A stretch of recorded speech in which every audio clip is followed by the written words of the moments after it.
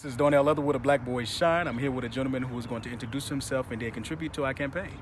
Good morning. My name is Marc Vines.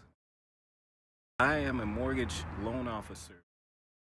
I've been in this field for uh, nearly 30 years, helped quite a few families to either purchase or refinance their homes, helped them with home equity. We've helped people to, uh, to invest in real estate as well.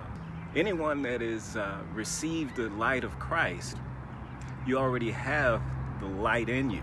Right. So throw off that veil. There's more for you than there are against you. Do you believe black boys shine? Oh, their light is so bright. You got to wear shades. They have so many gifts, skills, and abilities that it's unbelievable. Go ahead, young man, shine.